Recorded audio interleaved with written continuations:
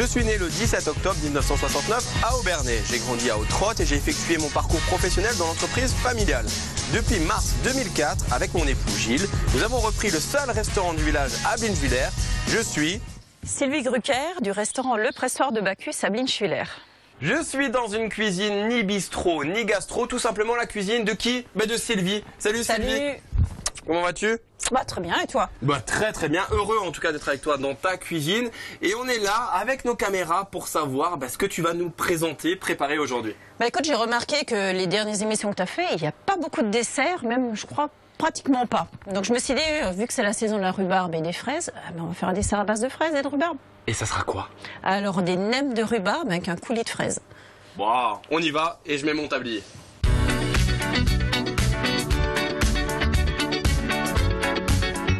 Sylvie, pour ta recette, nous avons besoin de quoi? Bah, pas grand chose, c'est une recette toute simple à réaliser. Il faut de la rhubarbe, des fraises et bien sûr tout ça d'origine d'Alsace. hein. Du sucre avec euh, des épices d'ailleurs par contre. hein. D'accord. Du sucre semoule, de l'eau, du sucre de canne et de l'huile d'arachide. Et en matériel, une petite poêle wok, hein, Oui. Un cul de poule, couteau, planche et une on machine donnera que toute ménagère rêve. hein. Connais. Voilà. Et puis là, c'était euh, des. Alors ça, c'est des Spring. Springs Rolls. C'est des feuilles de brie qui sont un petit peu plus élastiques que la normale. Sylvie? Bah, on bosse. Ouais, qu'est-ce que t'attends? Vas-y. commence par quoi? Alors, tu vas écouter les fraises. C'est dans tes gordes, ça, je pense. Et que les fraises, Ah bien oui. sûr. Et toi, que vas-tu faire? Eh bien, moi, je vais couper la rhubarbe pendant ce temps. D'accord. like Bah, Nico, on va passer à la cuisson de la rhubarbe. Suis-moi, tu vas pas te perdre, c'est tout petit. D'accord. Voilà.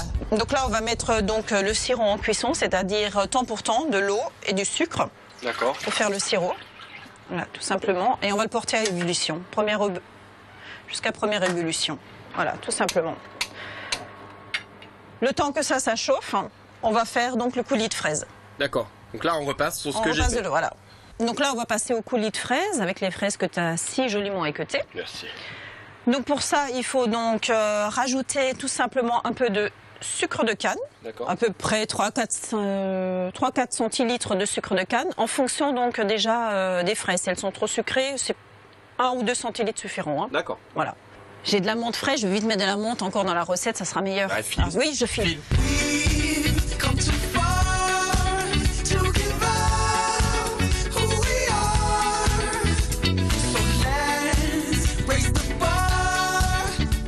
Fois que le sirop s'est mis à ébullition, on va tout simplement donc le verser sur la rhubarbe.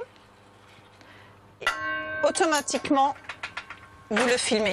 Tu l'enlèves et on le filme alors pourquoi? On le filme pour justement pour que la chaleur reste bien à l'intérieur et ça va confire tout doucement la rhubarbe. Ah, tu le laisses reposer à la on laisse température. complètement reposer, on laisse refroidir le sirop et on fait l'opération une à deux fois. Bon, Voilà. moi je vais voir les spring rolls maintenant. Ah ben on va, y- on va attaquer. Alors là on va attaquer donc les nems de rhubarbe, hein. donc avec la fameuse euh, donc euh, feuille donc qui ressemble un peu à la feuille de brique, mais elle est un peu plus élastique que la feuille de brique.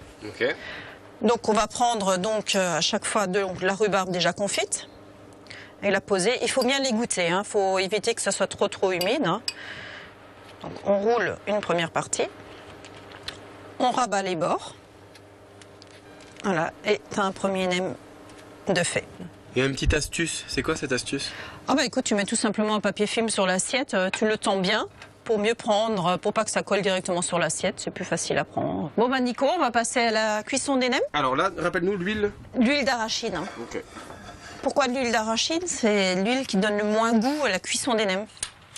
Alors un nem se cuit pas, se plonge pas dans l'huile de friture. D'accord. Ça se cuit tout doucement, l'huile pratiquement pas chaude et c'est vraiment il faut prendre le temps, faut pas le faire en deux secondes, euh, trois mouvements comme on fait d'habitude. Dès que tu sors les nems du feu, il faut automatiquement donc les sucrer avec donc les épices d'ailleurs. Sylvie, je te laisse présenter ton plat aux téléspectateurs d'Alsace 20. Alors un nem de rhubarbe avec un coulis de fraises à la menthe. Par contre, je vais te montrer comment on le mange hein, avant de partir. hein. Avec les doigts. Eh oui, Donc t'as mis ta menthe fraîche du La jardin. menthe. Voilà, on la trempe dans le coulis de fraises. Fais attention, c'est chaud. Hum, succulent. Vraiment très très bon. Recette simple, efficace, à refaire chez vous. Les punks, on se retrouve dès demain sur le site d'alsacevin.tv, également sur le site de julienbins.com. Et le mot de la fin surtout, Ne soyez pas sage.